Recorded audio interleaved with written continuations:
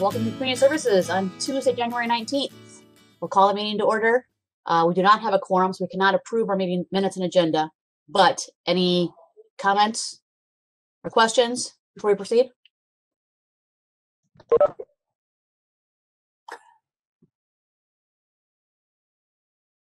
John, any uh, public comment?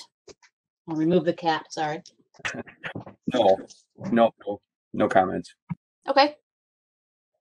And on to staff reports. Amy. A- Ann is here if you wanted to approve the minutes. Oh, hi, Ann. We have enough now. Okay, so we'll back up. And is there a motion to approve our minutes and agenda? So moved. And a second?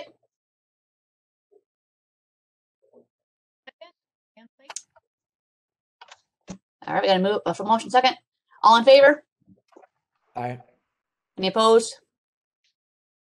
All right, we are officially approved. So now on to staff reports. Yeah. So happy new year. It's the first time we've been able to meet in 2021. So happy new year to everybody. Hopefully 2020 will be something far off in our memory in our memories. Hopefully 2021 will be a much better year for for everybody.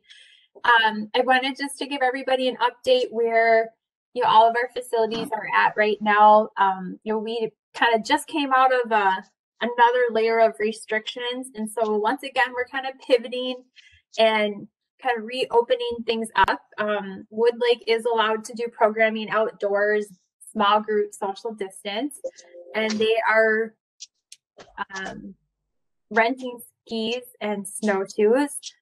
Uh, maybe not skis today, but normally yes. So we have a really crafty registration system. So we only check out like a dozen equipment at a time. Everything's pre-registered and um, very close to contactless. So it's nice. And uh, at the ice arena, we have been back to practices for almost a week and a half. And then at last Thursday, we just started opening it back up to games. So that's exciting. Um, there's a lot of mitigation at ice arenas across the state, but one thing different with this rollout, as opposed to other times we've opened it up with COVID, is every arena across the state is kind of adhering to the same COVID plan. So I think one of the things that you know caused issues before is you know one arena in Bloomington wasn't doing what we're doing, and Eagan was doing something different, and really teams move all around the metro to play different teams. So people would show up and be like, I'm not wearing a mask. And other people like, you're wearing a mask. And it just led to a lot of issues. So I think now that everyone has one cohesive COVID plan across the state, um, hopefully that will be a best practice and work a lot better. So we are busy at the ice arena though. A lot of teams that haven't been playing and just open skates been very busy. Um, people are very eager to get ice time and get back to playing. The community center and Wood Lake are still closed to the public.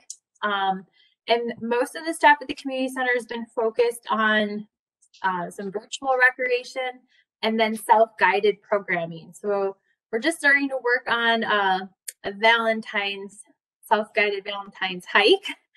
Um, and we're uh, getting ready for tax preparation with seniors. Um, there's some annual programs where we'll be able to do in some capacity. So that's nice. Um, our ice skating rinks opened up. Our warming houses are not open, but skating is open, which is nice. And we are renting out one hockey rink at Donaldson to, the teams as um, they turn in COVID plans and get them approved. We can rent ice. Uh, we also have been doing a lot of sustainability related um, items. Um, the biggest is we're working on organized collection right now with haulers. Um, and that's an ongoing daily, weekly thing. And our hope is that we'll be um, putting together a proposal with haulers that will be bringing forward to the council. Um, and then they'll ultimately decide kind of what direction to go with it. Um, but we've been working on organized collection. And we also wrapped up our grant from Hennepin County. We had a grant called Save the Summer Grant. And you might remember we did a lot of different things with the funds that we received. Um, some of the highlights were um, free soccer camp for kids. We had free fishing clinics, uh, virtual programming. A lot of the people we brought on for the virtual programs were free. Um, it helped fund for the the editing of the videos and any equipment we needed for that we paid through the grant. Uh, we were able to fund uh, over 100 kids to run the Urban Wildland 5K. Uh, all sorts of programming was uh, free through the program, so that's exciting. And kind of one of the last public things we did with the program that was more of a program was the uh, Holiday Lights Parade, which some of you maybe came out and enjoyed. So we're already thinking, how could we incorporate that into our event schedule for 2021? Um, so that's been just an awesome thing that we had the opportunity to to have in 2020 was the, the Save the Summer grant. It um, helped definitely in a tough year uh, kind of overcome the financial barrier of a lot of programs. And then some of the materials we got for the programs we'll be able to have for many, many years to come, like snowshoes, um, all this equipment we're able to check out. And um, so one, two things that we were able to get that we should be implementing more into 2021 is hammock stations. So we have two hammock stations. They're kind of a triangle design that we configured. And so it's really popular, I would say, with like 12 year olds through kind of young adults to go hammock with your friends. So it's one way they can enjoy the outdoors, social distance, and just kind of hang out. Um, so those will be going into one will go into Woodlake Nature Center, and then the second one is kind of yet to be determined where that one will go. But we're excited to get those out in parks this hopefully late spring. And then lastly, we are already starting to look towards summer. And it's a little bit of a question mark with COVID, the restrictions, but I think in some capacity we'll be able to open up the pool this summer. So we're trying to plan for what that might look like and what the staffing needs will be. Um, and also just summer programming in the parks, bringing that back with with mitigation and and it's hard to know the exact restrictions and guidelines at that time, but we are hopeful that we'll bring it, be able to bring back a lot of normalcy um, to our programming this summer. So I think some of it will probably have to have pre-registration just to kind of control numbers, but I do think we'll be able to open things back up um, in some capacity. So it'll be really nice. We're looking forward to that. Cool. Yeah. Any questions? Joe?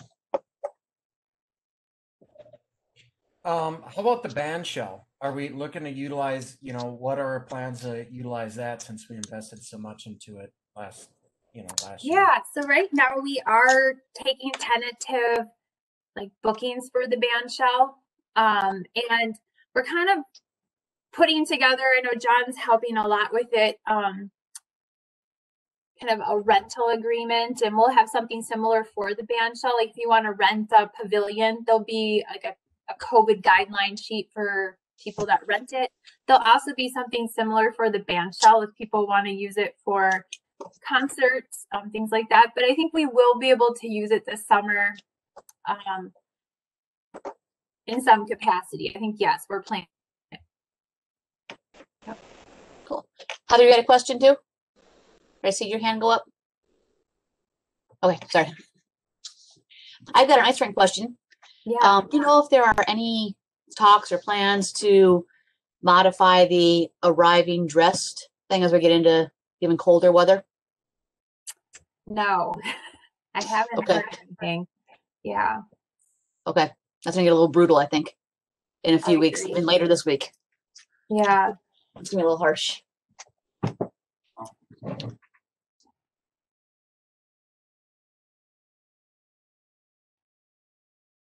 Uh, any other questions? All right, let's move on to our discussion items. Roundup program. So we have a Yeah. special guest for that tonight. Yeah, Welcome, Brianna. introduce um, Brianna Rogers. She's uh, one of our interpretive naturalists at Woodlake Nature Center. And uh, one of the things we've been working on um, together is determining what is the best inclusive wheelchair um, for the conditions at Wood Lake. And we see a lot of mud, a lot of snow there. Um, but trying to make the opportunities there more inclusive year round for uh, people with dis- mobility disabilities. Um, so working with her, Brianna did all the research into the chairs and reached out to um, different people to get their opinions on things. And ultimately, we kind of landed on a chair um, that we are now fundraising for at the Roundup program. So I'm just going to let her tell us all about it. Mm-hmm. Yeah, thank you, Amy. Um, I feel like you already did a great introduction. So my next thing I wanted to share with you all, rather than me trying to describe what an all-terrain wheelchair is, is um, the one we're fundraising for is Grit Freedom Chair. And they have an awesome one minute promo video that shows what this chair is capable of doing. And so John is already on it, gonna show this little video here for us.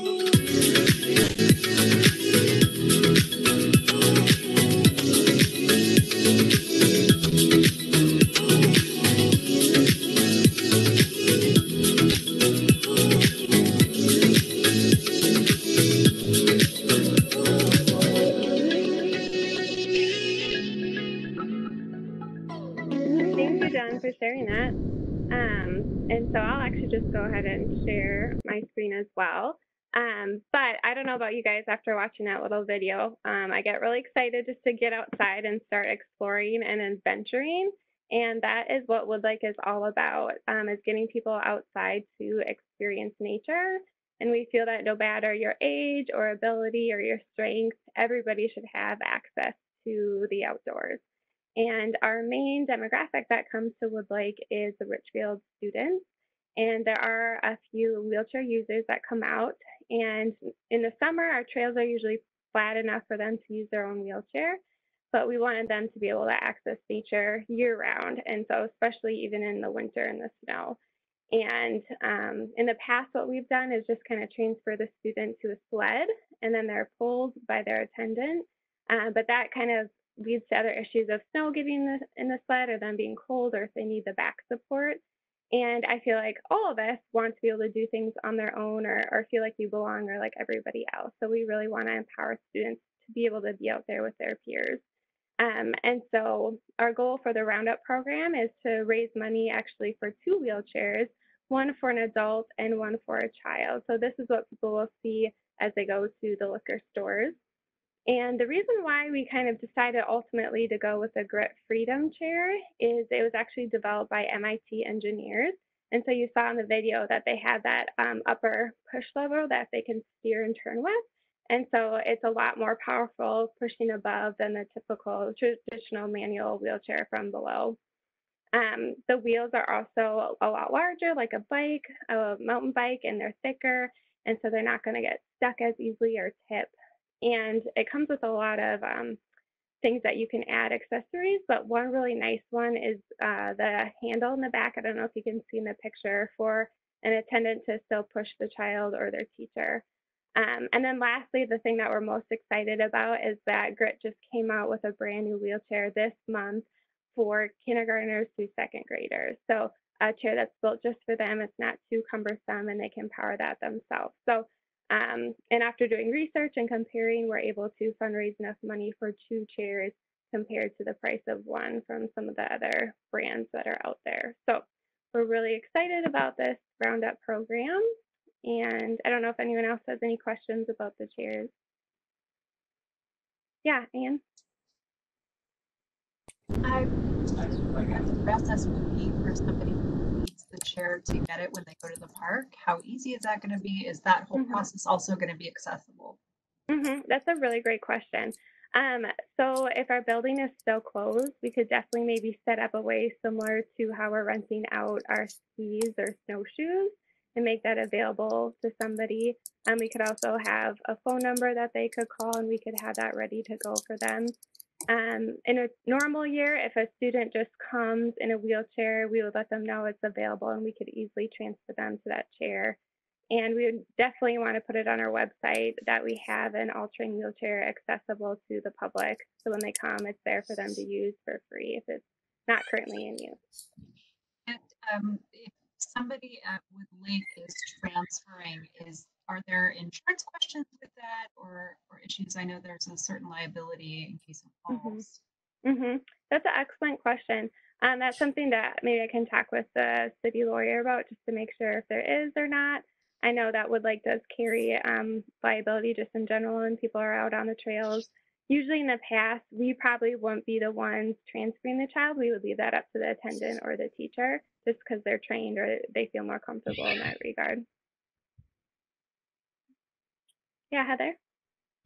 Um, I, I just have a couple questions around. So, when looking, you know, kind of at comparisons and things like that, um, I would assume that a lot of these are going to have different warranties or possible service plans and things like that.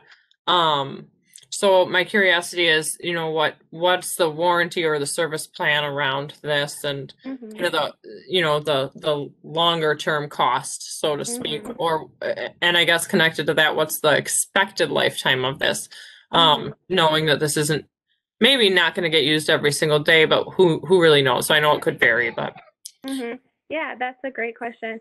With the child wheelchair that just came out, um, I would have to ask him about that. The warranty, I would assume it would be similar to their other ones. I want to say it's a two-year warranty. I'll have to double check on that one.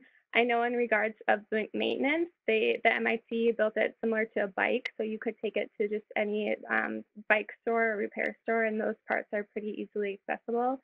Um, and with this one, I don't think we won't have to deal with like taking wheels off or parts to assemble it or get it through the door or anything like that. I think they have a, a pretty long um, life expectancy, but I will look into that. That's a great question. Yeah. The Joseph?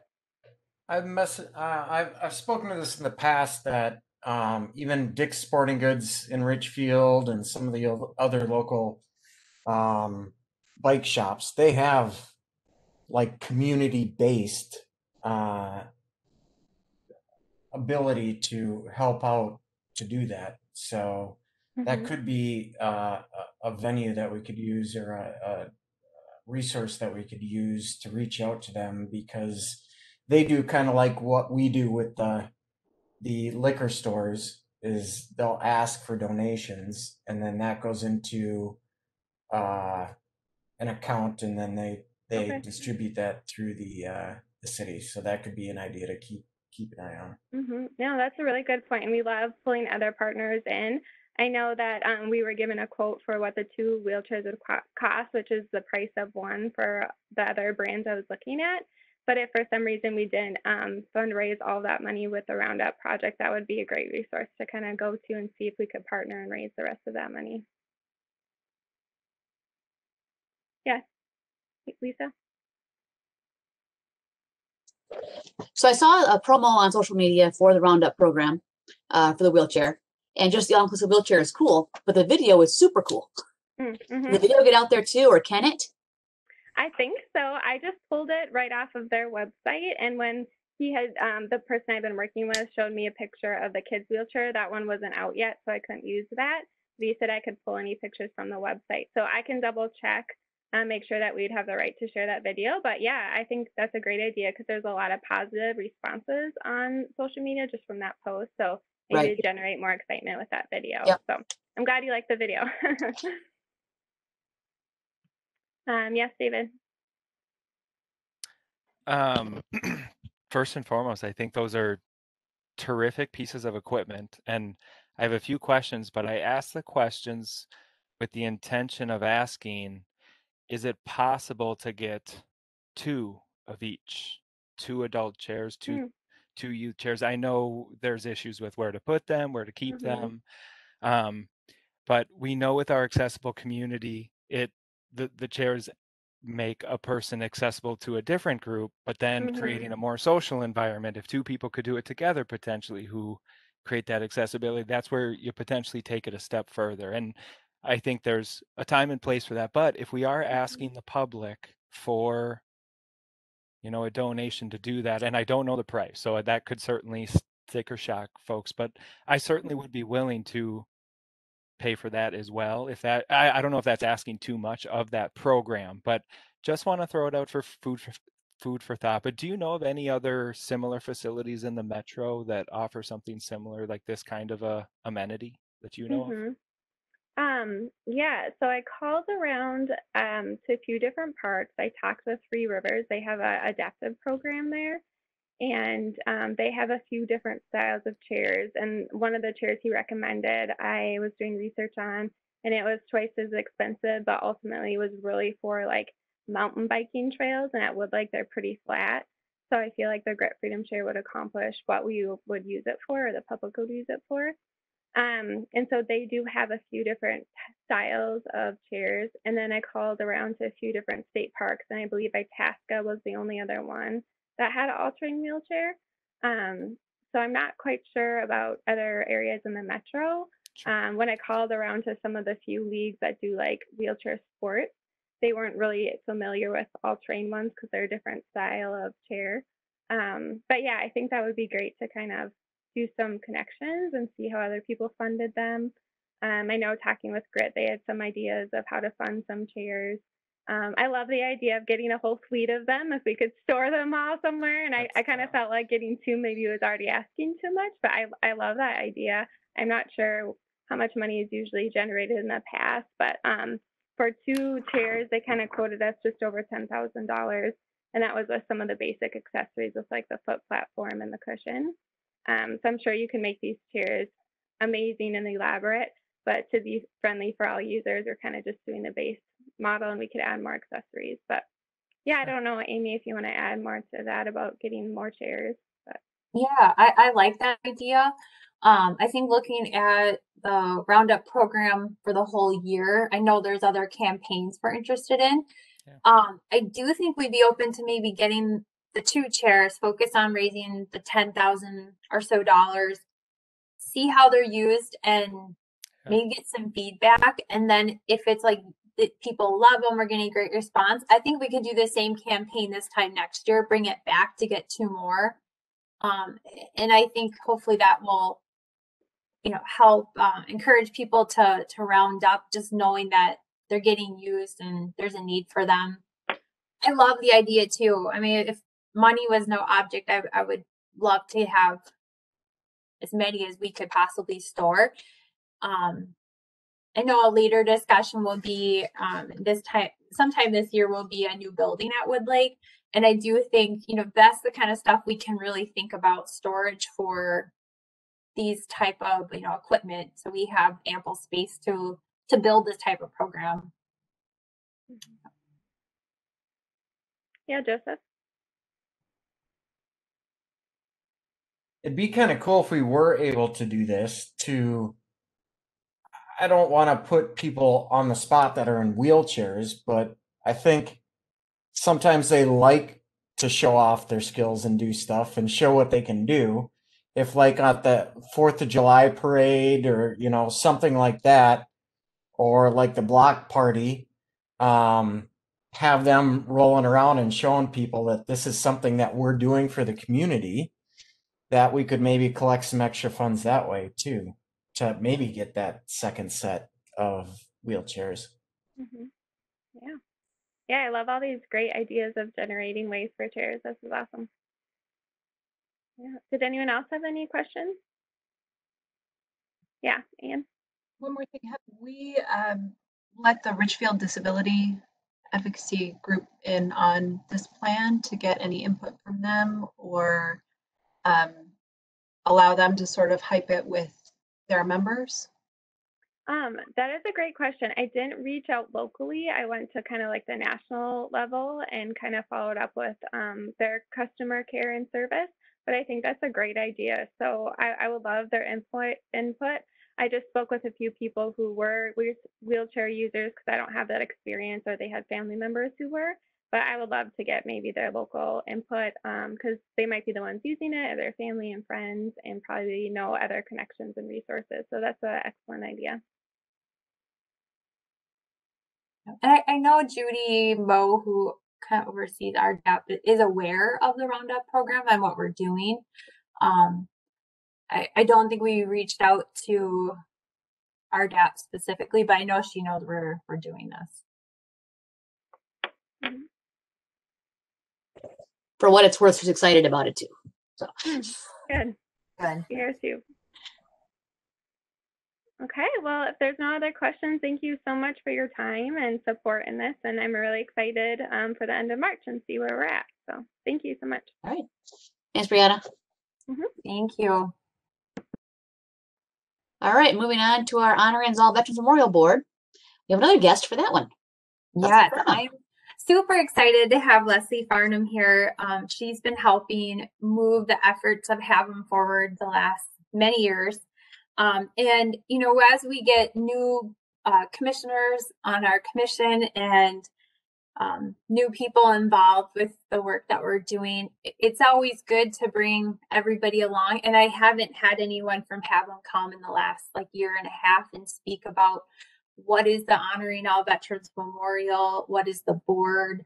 Um, what are some of the things that they do? Um, i have realized at a few meetings we've asked if there's any interest in joining their board. And i realized too there might be people that don't even really know a lot about it. So i wanted leslie to come and just explain a little bit of the history of the memorial and what the board does and how we may be able to help support them. Because it is a, a you know, a pretty important part of our park system is our, our Veterans Memorial. Well, thanks for having me. Um, and yes, I'm Leslie Farnham. I am the outgoing. We just had elections. Our meeting was on Thursday. Um, I'm still involved and going to do this because we're going to, um, we hopefully will be making use of Bandshell and doing some other things here this fall um, to help grow the awareness of the memorial. But um, I hope all of you have visited it. Hopefully, you've gone on a stroll through Veterans Park um, and stopped at the memorial. Um, but um, yeah, as we kind of went through, and I did with Amy, because the original start of Have 'em um, over a decade ago, it was through actually several different parts of the commission. Um, the Arts Commission was looking at um, bringing more art into the community and how do we evolve and into that. And so that actually kind of the the base, the the sculpture in the center actually started with that um, element, and that's um, I I normally I wouldn't always be wearing a hat, but I'm wearing my hat because that was a little easier to show than always keeping my shirt. Um, but we started um, with that commission. We've done quite a bit with you know the historical society because we are honoring veterans. Um, and obviously this commission um, and things. And it actually was, you know, we had written in in, in our bylaws and things as we started that we actually had some rep- representation from various groups throughout, because this is a, it's all veterans and it isn't just for Richfield. Um, the names on there can come from any veteran alive or deceased, so long as they were honorably discharged. Um, but it is, um, it was meant to be um, a shining element of Richfield. So all of us and all of our community um, and, and really honor in, in Veterans Park because we had Veterans Park and it was kind of named that because it was next to the Legion. But to really bring in an element that truly um, honored the veterans that were involved um, in serving our country. And so over a decade ago, um, it started with that, and like I said, with the center art piece. And the most historic veteran we had in Richfield, and Richfield is, I mean, the time of the homes in this, this is a post war, you know, that was the buildup of Richfield. A lot of veterans, a lot of veterans in this community. Um, so definitely proud to honor them and, and pay homage and respect to them. Um, but the most notable again was Chuck Lindberg, um, and not the you know not the pilot, um, but Chuck when you go in and and see him um, and and it was Chuck's vision. And I live on James Avenue, and he lived just down the way. He was down a little bit, um, and I always kind of different people that if you you do you buzz by crosstown and and 35 right where crosstown and 35 met, meet um and his house was just tucked back there and i'm like how many people have buzzed in and around the cities and done whatever and had no idea that just on the other side of that sound wall was the most one of the most famous you know military um, individuals in there. You know, that raising of that flag on on Iwo Jima um, is, you know, they might, you know, kids, even you know, school age kids, even still today, they know that picture. They might not know all the details about it, but that picture, the picture of him raising that flag, or, and the team, all of them. But as we sat down with Chuck and kind of talked with him about that, and he didn't. He was a very, very humble man. Um, and that was his you know he was honored himself but he's like don't don't honor me. You know i was fortunate to come home. So many of them did not make it off that rock as he as he fondly referred to it. Um and and that he was like we need to honor all. We need to honor everyone and everyone that served um, and doing that. So that's when it kind of blossomed versus just a statue and you know and in in honor and, and paying tribute to him to becoming. And then that's part with the board of like okay well if we're gonna like you really make a memorial and how do we honor this and how do we develop that? And travis you know worked on on elaborating the design to become a full memorial. Um that that we did. And when i got on the i got on the board because my neighbor um a couple doors down um he is now a retired elect uh, from the electrical union and things. So some of that of you know how do we light it? How do we how do we build this? How do we you know create this? Um, and obviously we had to come to the city um, uh, and because we're building it in their park um, and get all those permissions and things like that. But it's been an amazing you know i've been a part of it for over a decade myself. It's been going for not we're at 12 13 years. Um but we are we've kind of hit that point of really wanting to grow and and expand out and do more. Many you know the first you know eight years really was all on construction just making it a reality. Um, and we were very grateful um, you know we were doing it in phases um, and very honored and grateful that the city did um, make a loan to us so that we could finish the pillars. You know we had gotten we had fundraised and done enough to you know get get the stone and get the taconite and get chuck there. Um, but as we look and, and to fulfill that and really now it is to fulfill more of the mission of um, honoring veterans and and expanding it out to more than just the the names that are on the tablets um, but we will be starting um, a voices of our veterans um, program um, to help honor and spotlight veterans in the community and from all over not just here in richfield but really how do we and let them tell their stories? So much power is in their stories and what they've been through. Um, and so we're excited to get that started um, and do that and and grow. It is you know a, an area that we know and something that and as I as we have our meetings and as a board we're all volunteered just like you know we're all um, um, volunteer and um, you, we meet once a month um, we would love to have somebody from this commission just kind of join us, um, just because kind of in that partnership of we are in the city.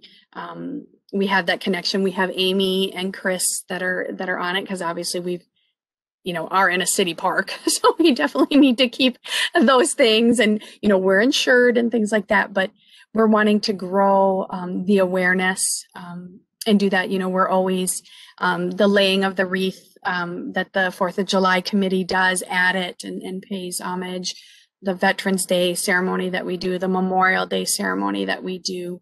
Um, we're normally at Penn Fest and just trying to get involved um, a little bit more in the community and kind of spread awareness and about veterans um, and doing that. So that's a little bit about us. I don't know if you have questions um, our, about our board or or things like that. But yeah, we're just like you all. We're always looking for extra hands, extra voices, um, and you do not have to be a veteran to be on the board. You just have to have a good heart and a good passion for them.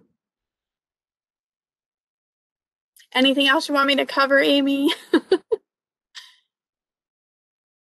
No, that that's really helpful. I just wanted everyone to kind of understand the history of that memorial and uh, really the need, hopefully, for for someone in our group here to to try to join if they can. It would be great.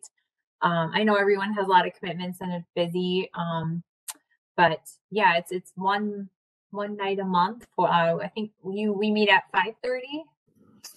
Yep, 5:30 on the second Thursday of the month. And normally it's about an hour. We keep them kind of um, we're fun, we're laid back, and you guys are not on that. We're a laid back, fun group. Um, uh, not, nothing on you gentlemen, Joseph and, and David and things. Um, but there's Deb and I, and then Amy. I was glad, not that it wasn't as as we love Jim and as he retired, but I was like, yay, another girl, another woman.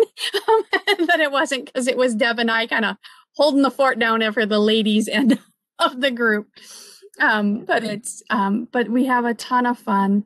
Um, and it, you know, it's, you know, just input and how do we honor veterans? You know, how do we um, promote and and do that um, and just kind of keeping that in, in our events and you know we just have the two official formal events uh, the year the memorial day is a much larger grander event um, and reed bornholt and reed used to sit on this committee um, and that was why because even at that as i did with amy i'm like actually in our bylaws it says that someone from this committee is supposed to be on our um, board. Um, and so i'm like well we need to maybe address that um, and look at that. Um, but yeah that you know and i can and it's on you know where the city website and john does a great job um, evans um, you know in helping support us and, and doing that. Um, but it is but your involvement and, and your promotion of the city and what you all do um, in our community efforts and we we view ourselves um, you know as a as a gift to the community. You know we're you know we're trying to pay it off and and, and we do we want to add more benches and, and fundraise some of our you know those ends um, and and do those things. But um, really it's a jewel and a gem for the city. It honors all veterans and we want to expand that out and that's part of our growth. Um, but we want to make sure that it's um, well appreciated and and we do feel it the the city and the community and things but we know as as new folks kind of come in and get involved they might not realize because you drive by and see it and so so many people do they just think that it's a city think because it's in a city park, they think that it's you know a city monument or things like that, and um, it's a bunch of volunteers making it happen and and go and and doing that. But then I'd also ask too, um, like I said, as we're getting this voices of veterans going, um, Arland, um, we'll set up a time and get him interviewed and doing that.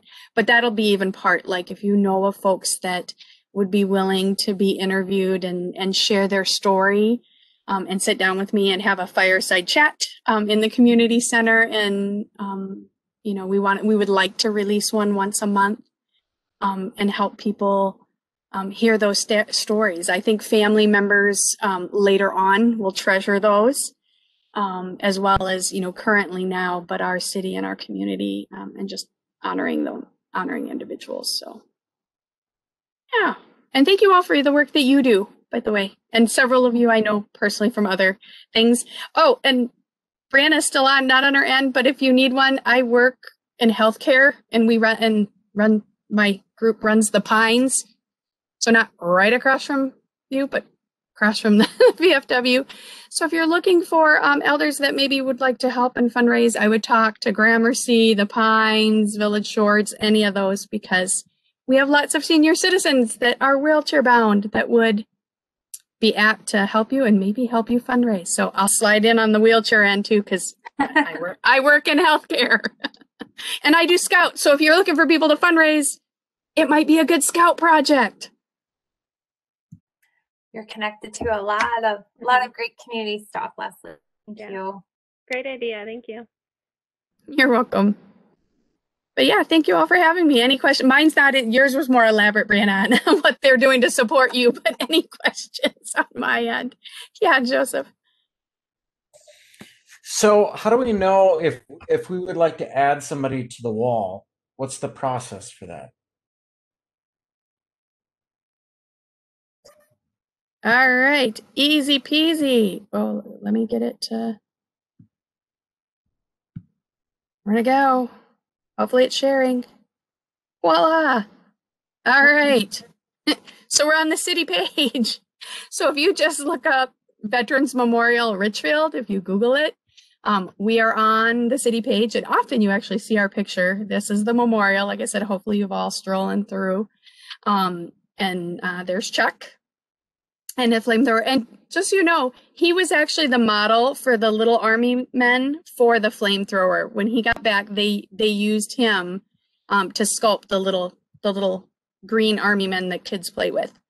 Um, but right on the memorial, um, you watch a video from last year. But we do have there's their sponsor vet and visiting um, that you can fill it out right online. It actually goes to the community center, and John Evans actually gathers them all. Um, we put them on twice a year. Um, Memorial Day and Veterans Day are when the um, the engravings are put on. Um, so the deadline, um, John, you might even need to help me just a little bit. So Memorial Day, I want to say it's like March fifteenth. Uh, yep, pretty close. April first for Memorial Day. Oh, and- there we go. Okay. And August first, we'll get an engraving on by Veterans Day that fall. There we go. Because we need enough time to get it, John, to get them listed, get them to the engraver, get them, they lay them out, um, get it back. We send it back to a family member to make sure that it's proofed, Yes, Um, exactly. all that good stuff. So, yep. So have it into us. Um, but you can do it right online. We do have paper forms too. Um, and you can pay right online. Um, we do have a sponsor vet program. This is part of ours where we help fundraise for um, um, for individuals that and and you do need to explain to us, write a letter and explain why you're not able to pay the full um, $400 for the engraving. Um, but we do. We know that there are folks on limited income. A lot of veterans and folks that want to do this are of mature nature and maybe on a more fixed income. Um, and so we do have we fundraise partially to help sponsor and pay up to half of a, an engraving you can get um, um, covered for. And so um, that's some of the fundraising we do is to help cover that cost. Um, but great question. And again, living or that's always mine because I do. I have my husband is very much alive and I have his name on there and his uh, grandfather is on there and he's very much not alive um, as a Marine. And we're putting another, I'm, I'm putting in, I've, you know, and I've paid fully for mine. Um, and we're putting another, um, another family member on um, for this Memorial Day. So great question. Anything else? Otherwise, I'll let you get back to your meeting. And here, I gotta get back in and remember how to stop share on this version. I I normally I I do this a lot for my work, so Well, thank you, Leslie. This is great. you are welcome. Thank you for having me. Thanks, Leslie. Thanks, Leslie.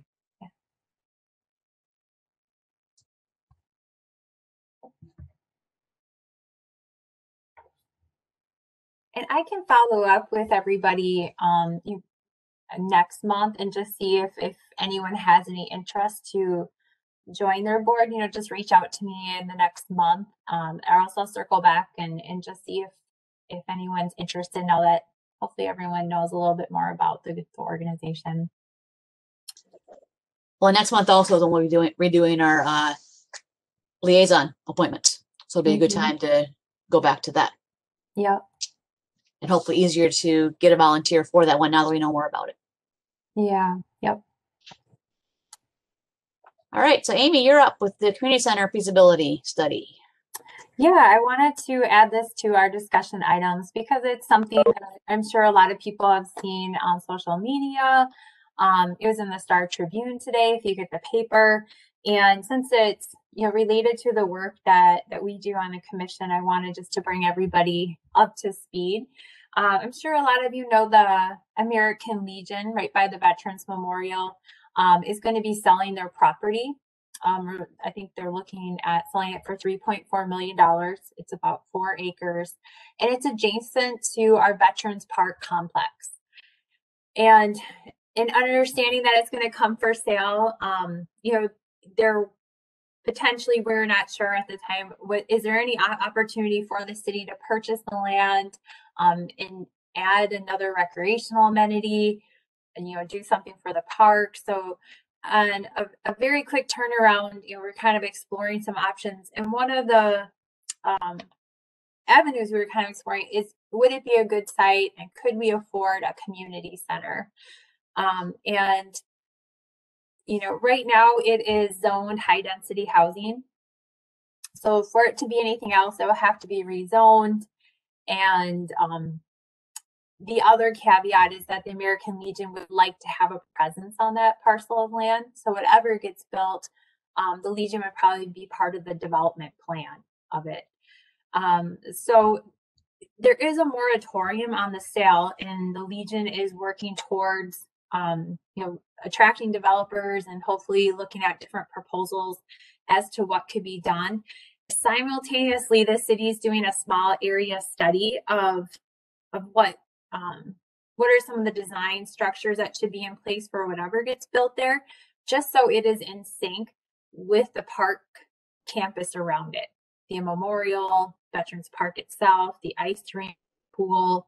Um, so in putting those different structures in place, you know, they'll look at the height of a build, building, the color, the aesthetic, how far would it be set back from the street, the memorial, kind of all those guidelines in place. And that helps a potential developer in putting in a proposal as to what's actually going to go there. Um, so the small area studies going on.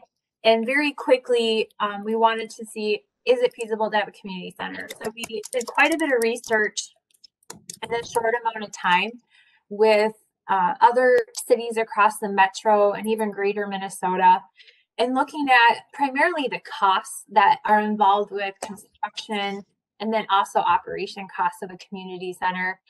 And we did a lot of um, kind of number crunching of kind of a smaller scale community center, medium, and then a large one that would include indoor aquatics. And, you know, it would impact residents, um, you know, in a pretty major way with with um, the annual taxes. And we feel like at this time, you know, our recommendation to the council is that it would be cost prohibited. Um, but we did, you know, have a, a very, um, I think, robust discussion last week about really all the great needs that a community center can fulfill and the gaps in our recreation um, system and program that we have and how can these still be addressed? So like right now in the short and medium term we can't build a community center but how can we continue to try to like, assess and address these needs? And I, I did a presentation last week and maybe some of you have seen the presentation but i could share a couple slides just to show you um, some of the items that we discussed. Um, um, so we, we did discuss with the council kind of the historical background and the community center, as John pointed out to me today, is turning 60 this year. We have a lot of big birthdays in our park system this year. The pool's turning 60, the community 60, and Wood Lake 50. So lots of big birthdays. Um, and you know, just this talks a little bit about the history. Built in 1961, we don't have a formal space for you know like indoor athletics or fitness, um, but we do use the space well that we have for for community meetings, dance, um, exercise. There was a referendum for a community center in 1999. Uh, it did not pass. It lost um, a four to one ratio. And that was for a proposed community center um, on the west side of Veterans Park that did include a pool, uh, fitness equipment, offices. And right now in our parks master plan that um, we prepared several years ago, it is listed as a future priority as something that the community you know, desires. And maybe some of you took the community survey that was done last year, but it does show that the majority of residents feel like the um, recreational opportunities are excellent or good in the city. And a new nature center building and a community center are generally supported um, by residents, and that would include supporting a tax increase, a property tax increase for one of those amenities. Um, this just kind of talks about some of the the considerations that other communities noted that we need to think through in in deciding if it's feasible, um, and that most community centers don't make money. Uh, they need to be subsidized. The recovery is only about 60%, so you need to subsidize the other 40%. Um, and just understanding how it may affect private businesses. Um, one issue with that parcel of land maybe it, I'm not sure ultimately what what could have been, but the parking would have been pretty tight probably from the get-go. Because if you have a huge facility, you need a lot of parking, particularly if you're going to be sharing it with um, the Legion too. And you know, there's lots of costs associated with building a community center. Um, and one of the things that became abundantly clear with how high the cost is, it really would put in jeopardy a lot of the other prioritized projects for the city, um, such as the 65th road construction. Um, other road projects are pretty important, and we need to be reinvesting in a lot of our underground like sewer system and, and piping. Um, there's other recreation projects as well. Um, but it does, of course, fill a lot of needs, and they are awesome. You know, they a lot of times a modern day community center will have banquet, community space, facilities, fitness, rec program space, indoor play area. Right now, a really popular would be indoor sport courts like tennis and pickleball, year round aquatics. And these are all, a lot of these things are gaps right now in our park system. Um, so, in looking forward, really trying to figure out how can we um, fill some of these gaps in kind of creative ways.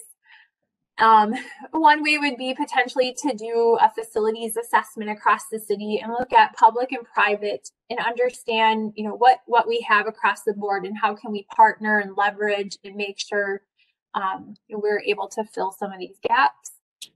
Potentially rebranding the community center to be more multi generational, and we kind of discuss by default. I think because the building is um, quite accessible to, all generations that I think by default people sometimes will call it the senior center. Um, but looking at our facilities, that one is the best suited for senior programming. But we definitely could bring in programming for other ages. Um, we are, you know, a top priority for the city is looking at constructing a new nature center building and looking at a design of a potential nature center would include a banquet space and meeting rooms. And also we can hopefully do indoor athletics at the Richfield Ice Arena now that we can include in our annual calendar dry floor events. So we could potentially do pickleball, um, lacrosse, soccer, some indoor sports when we take out the ice for certain amount of time each year.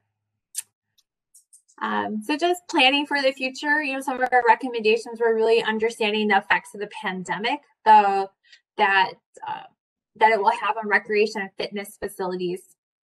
Financially recovering from the pandemic, so the timing right now is is hard to do any sort of enormous capital project. Um, the timing continued to, to have conversations with potential partners, um, potentially you know, looking at timing of other work plans and develop a strategic plan to kind of better understand facility locations, programs, and costs. So kind of get into the details if we are able to ever um, do a kind of community center, where would it go? What would it look like?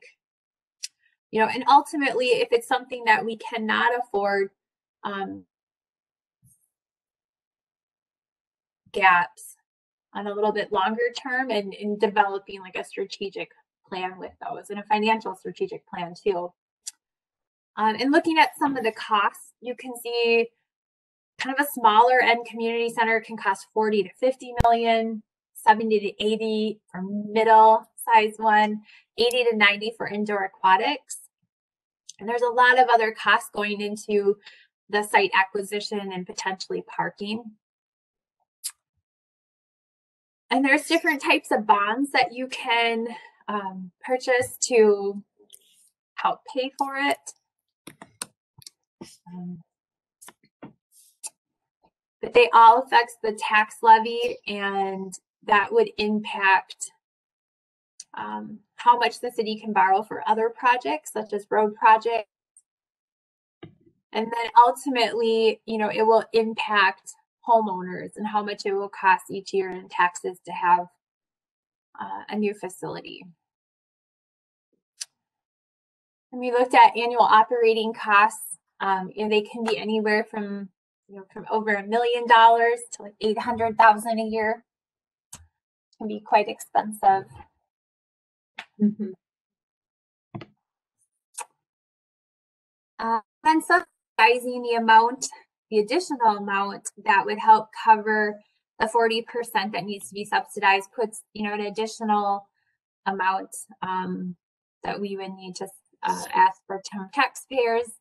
Um, you know, we got into some of the socioeconomics of our community and where median household income is at. And this is from the Met Council when you look at all the other cities in Hennepin County, you can see Richfield, you know, is falling behind with median income. And so the timing is, you know, would, would not be great with the pandemic and, you know, some families struggling to, to raise taxes in any significant way.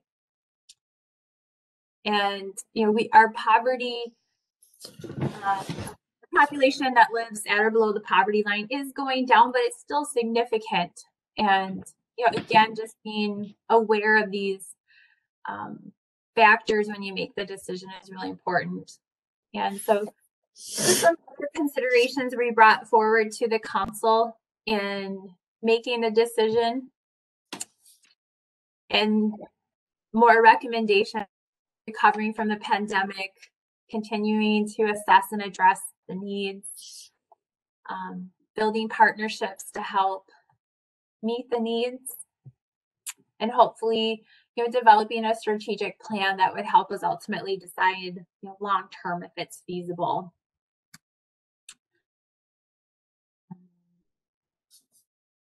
So, and yeah, in discussing it with the the council last week, you know, they understood our recommendation and really felt like that that is the best thing for the community right now. It may not be the right parcel in the right time for a community center. So um, that is kind of off the table for the site. And now we're continuing to do the small area study and the Legion is continuing to to move forward, you know, and with developers and proposals for that site. And ultimately, the small area study, I think, we'll have it, it is hard right now um, not to have that in place. We really feel like ultimately it's very important for the park and the community to have those design structures in place, just so whatever gets built is really in alignment with the park around it, since it is such a, a sensitive area with a, a wetland um, and so many different recreational amenities right around there. Mm-hmm. So, so how much building would really be feasible there anyway, considering how difficult it was just to build the band shell?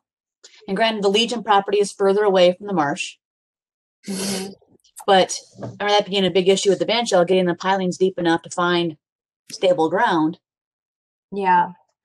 And that's definitely, you know, whatever goes in there, I, I do think the soil abatement can be quite expensive. And what they had to do for the bandshell was really dig out the the junky soil and bring in better soil that you could build on top of. And that can be pretty expensive to amend soil. Um, so I I'm not sure, but I, I'm guessing there'll probably have to be some part of that done for whatever goes in there. Mm-hmm. And then looking at, you know, considering what we have available with all of our assets throughout the park system here, and the variety of needs have been expressed.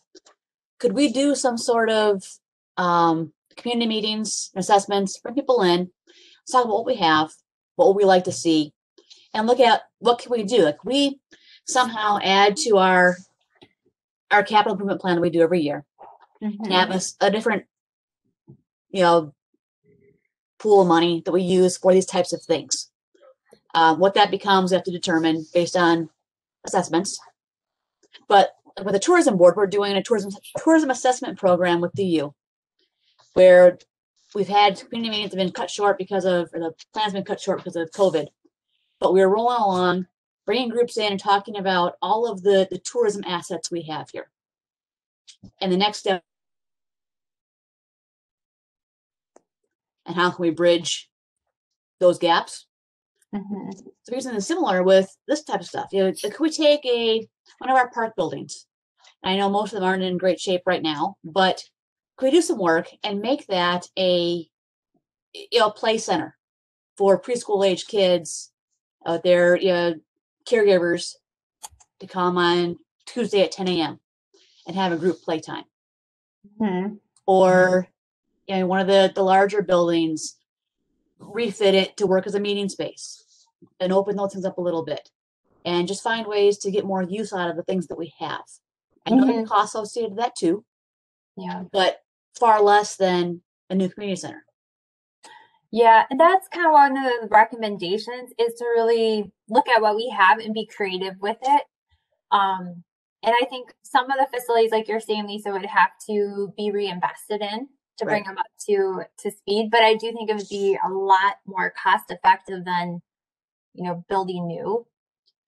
Um, you know, and I think we've I do think like yes, we could definitely um do an assessment. And I think that's kind of the first step in looking at what we have, how can we address the needs?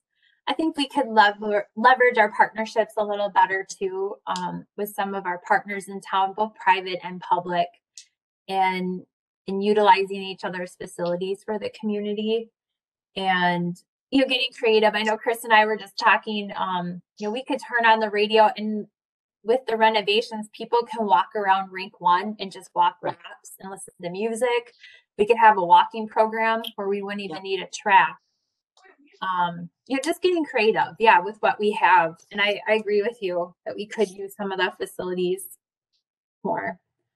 how can this group help with that Well, I think what the city manager would like to do is, and, and myself, is probably have an outside consultant help do the assessment and then come back probably with to a group like us with the recommendations. And then we'll need to try to prioritize them and which ones we we can financially plan for with the budget that we have. could we also bring in a it has some community meetings bring mm-hmm. residents in to talk about what they want Sure. Yep. We could do community meetings. Yeah, I think I think that sounds like an awesome idea, and I've thought, you know, and I do think that in e- even just these last like five years, we've come a really long way with the programming that we offer, which is awesome to see. But I know, you know, back then at that point, I I know that I struggled to be able to do some programs locally, wanting to support Richfield, but not really finding you know what i what i wanted. And i think that was kind of around the time we partnered with bloomington so there was a lot of change happening.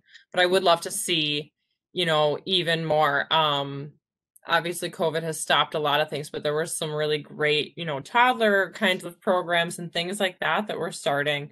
I think it was hard to gain some traction with that stuff but um but i'd love to be be seeing more of that and and helping with what i can because yeah there's just so much so much to do and a lot of families here and a lot of people who do want to be involved so Yeah, I like the idea of, of doing maybe like an open house and Mhm. um, Yeah. figuring out how to do breakout rooms. Maybe we can have people you know, join a room if they have for certain types of recreation and just provide feedback. hmm hmm Yeah, I like that idea. That Yeah. sounds good.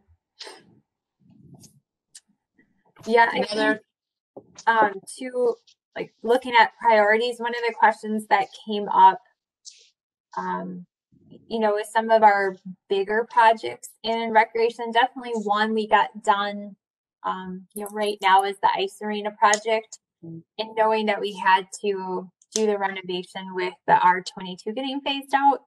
Um, but another one that's really bubbled up to the top is Wood Lake Nature Center. And so we are drafting another bill right now um, that will go to the legislature this year, a bonding bill for a new building.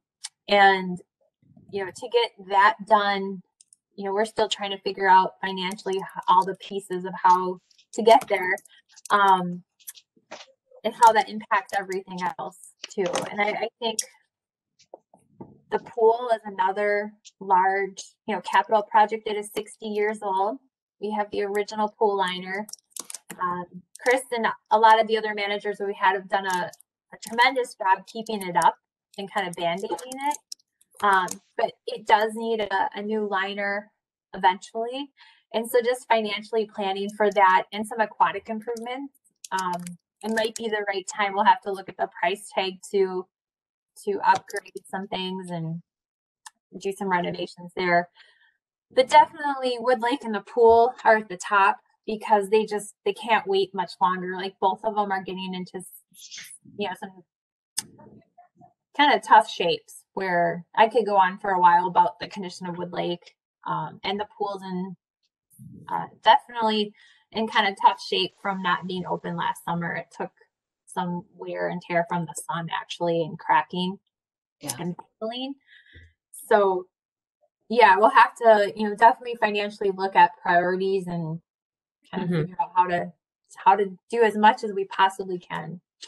Yeah, Yeah. and I think Oh, go ahead. Sorry, go ahead, Heather. sorry, I was just gonna say I think that kind of to Lisa's point here too, um, like one thing that she mentioned with, you know, having an open play or something like that, I think there are things like that that um might be I know there's probably some liability and things like that that we would need to look into, but there may be some things we can look at doing for small fees and maybe look at, you know, at least not losing at least not losing money on these things, you know. Um but I know as a parent of two small kids, I mean right now it's tough, but you know, as a parent of two small kids, that kind of stuff is is worth is valuable to me. Um so um yeah, but even just kind of being able to participate in my own community is also something that's, you know, a priority. So you know, even if it's like an outdoor treasure hunts or things like that and and and, and stuff, you know, I, I'm I would think that we can kind of um yeah, maybe find some some decently um profitable and really beneficial and fun things. So Mhm. We could discuss that at committee meeting also, what types of things people want to do. Mhm. Joe, you had a question or a comment? I was just about to mimic what Heather said. Um, you know, it's it's. I don't have kids, but when I see events like, I think it was two years ago, you had the zip line down at Taft Park and stuff. It got me to go out and and visit the parks and just, you know, have fun. I grabbed my fishing pole and I went out there and I fished for a bit and just got out. So outsourcing stuff like that. I mean, for we have a gym at at the hockey arena, right? Do we do we get any revenue out of that? You do, yeah. Yep. Okay. And then The space is kind of leased to the, it, you know, a private business, so the space is leased to them. Kind of like they Okay. rent from us. Yep. and then could we do anything like you were saying like an indoor area um could we work anything out with like Holy Angels to rent out that space? Um and they're, you know, they have that indoor uh stadium. Um, I used to work for a company called Ninja Anywhere, where they would have actually like a semi truck that would come in and it would fold out and it'd be like a Ninja Warrior course. You know, you could do something like that and make it like an annual thing where, you know, and that would help with tourism or you know i don't know it's like the eelpout thing up north you know? I don't know if you guys know about that but you know just find something unique um to draw people into richfield. Um you know like the indoor pool stuff i mean we have Great Wolf right across the street. Um there's hotels around if people want to do that i think they can probably find it along with the schools around our area um, where we wouldn't need to build and put a bit a large expense into a new pool in a community center uh, in my opinion. But uh, you know those are just a couple ideas of you know we do a really good job with the you know the fourth of july and the the penn street parade and stuff but you know i I just think that you know instead of building out these large area, you know, these large uh, facilities, just taking advantage of what we have, doing some upkeep, and just making something cool about that specific structure. Yep. I agree. I mean, we continue to work with our partners. Um, I don't think our staff can take one more event. I will be honest. Like we have a huge event every season. I have a very small staff. Um, so I don't think we want one more event. I think we can add two events perhaps that where we already are there doing things. Um, but yes, I, I totally agree with you with Holy Angels. I mean, they have a lovely sports dome. And you know, is there some room there for some part there? You know, that's something to explore, definitely.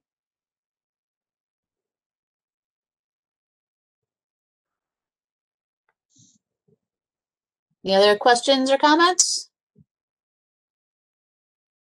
And I can follow up with you, Lisa, about the idea of having like a recreation open house. Cool. the. Mhm. All right, so then moving on to action items, we don't have any. And then committee reports. Transportation, Kevin is not here. Fall board, Stephanie? Anything from the foul board? No, there wasn't. Um, they're having a meeting on this, this, yeah, this Thursday. Okay, hmm we're gonna find that most commissions didn't meet in December. okay, let's Yeah. So planning, David, anything from them? I haven't seen an agenda or a meeting since October. Looks like the last one. All right, arts, Amy, anything from them? No, they haven't met for since October. Okay. Friendship City, Amy? They also um, have moved to quarterly meetings instead Okay. of monthly. Um, so no. Sustainability, Heather? Um, so they, uh, they were kind of flipped because they they did meet in December, but it ended up being the same week as as this, and so it was before our last one, but now it's switched to being after. If any of this makes sense to you guys, I don't Yeah. quite know what I said there. Um, so their meeting is in, I believe, next week. So I'll have some info um for you then, hopefully. All right. That gets us to the end. Any other questions or comments? Yeah, Heather? Yeah, yeah. Hi. I just wanted to do a quick recap. I think most of you probably have already seen some of this stuff, but I know a couple of you guys also did volunteer to be drop off locations for the food drive.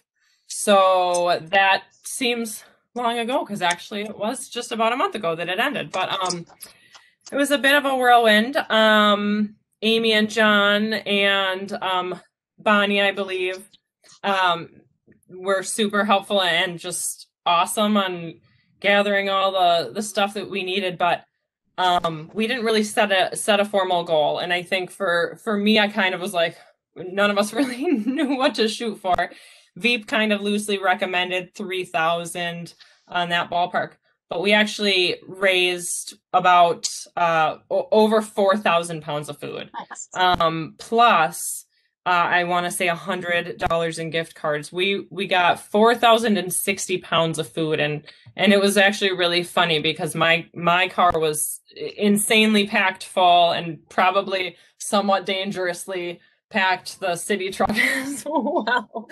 But um, and then we had to go back for more. So it went really well. It was super successful. Um, I think that like this team just did an awesome job of like brainstorming on very short notice. Um, when we talked about it at our last meeting. Um, so I want to say thanks to all of you guys and Joe, you had an awesome, you know, mention about what you had done before with your yard and that kind of was a great thank you yeah amy sharing some pictures and that was just really um a great jumping off point for us to to to use so thank you for that um but i'm really excited. I think we just did an awesome job. I'm really proud of richfield.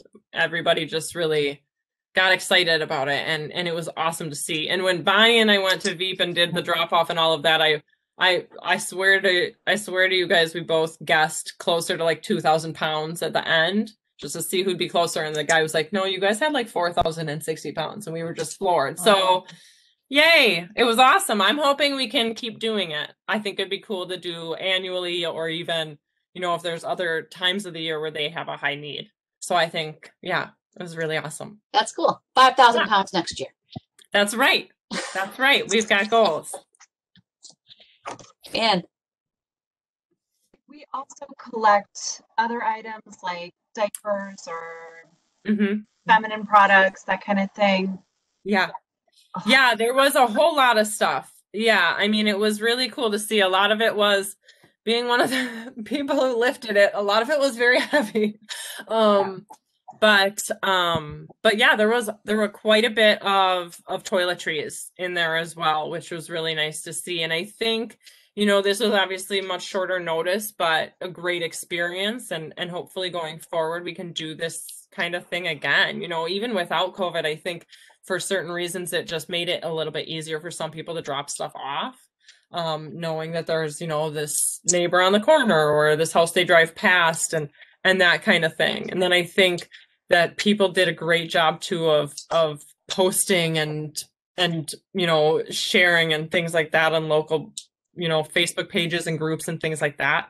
I think that really helped. And actually somewhat one woman from one of the liquor stores had mentioned to us she was she was surprised that it collected anything because she was like we've done food drives for other places before and nothing really ever gets collected but but hmm. you know their basket was full and and then there was more stuff to the side of it. So cool. so yeah i don't know what we did right but we did some stuff right. So it was pretty exciting. Well, you made that know this about me. When my youngest was born um, with a disability. Um, I was not able to go back to work, and my family took a huge hit because we lost half our income because I couldn't go back to my job because Yeah. I needed full time care. And VEAP was there for me when I wasn't sure how I was going to feed my family. And it was a very short period, thankfully, and I'm in a good place now. But there was that time that I had to walk into a food bank and ask somebody to help feed my family. Mhm. So this is so important. I can't tell you how much it means when you walk in there and they're like, grab a basket, you're going home with groceries. I mean, it's it's huge. And it's it's one of those experiences that that people don't want to talk about. Mhm. And there's a lot of stigma attached. Um, and VEAP is such a great organization for making everybody feel very human and respected. So I'm I'm so proud of you and all of that work and proud of Richfield. Yeah. Thanks, Anne. That's so nice to hear. And I think, you know, right now there's just so many people, you know, who do need who need some help, you know, and and so um I'm, I'm thinking and, and hoping that that was maybe a reason that a lot of people did seem to push um and and, and come out and really show up. It just it really made me I mean, I'm already proud of the city, but it just really made me happy. So Good job, Heather. Yeah, Joe. So it's it it doesn't have to be like I mean, I love what we were able to accomplish there. Um that was awesome. Um but it's just as easy as just sending more of a generic message of sharing, right? So you have people with the mini libraries out there. Right now on my front lawn, um, I have board games for kids to take on their, you know, the on their walk home from school. You know, it's like any of that stuff. If we can just promote generically, not just I mean, food obviously is the most important, and toiletries and and you know necessities, but um, and I don't want it to turn out to a you know a a landfill in front of your front yard but as you know as long as it's like promoted well or you know if we could put a message out that way just to plant a seed in everybody's mind on how we could do that um you know it's as easy as me throwing a clear rubbermaid container out front with some board games so they can see what's in there. They can grab it and go you know there's none of that what you were talking about and is like you don't have to worry about somebody judging you or anything. You just grab a game and you go. You know, Mhm. it's just fun. So I just wanted to throw that out there to see if anybody had any additional ideas on that. I've Board seen some free. swap. That's yeah, I like that. Yeah, I think, uh, and going off of that, there's there've been I've seen some free little pantries and things like that, but um, even stuff like like you have said and the, the swap idea. I mean, it's hard right now for a lot of people, you know. And I know my kids are bored of all of of all the toys in my house for some reason, and you know, so yeah, Well, I'm on 74th and Bloomington. You can come pick up some board games. we might just. You'd be surprised how physical Connect Four gets in this house. we don't really follow the rules, but yeah, we might just do that. But yeah, that's a great idea and something I think that you know this commission maybe could br- do some brainstorming on. Mhm. Good idea.